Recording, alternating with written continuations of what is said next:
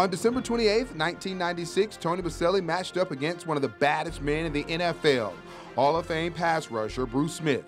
The Jaguars traveled to Buffalo to face the Bills in the AFC wildcard game, the first playoff game of Boselli's career. Boselli locked down Smith, holding him to just three tackles and two quarterback hits in the Jags' 30 27 win.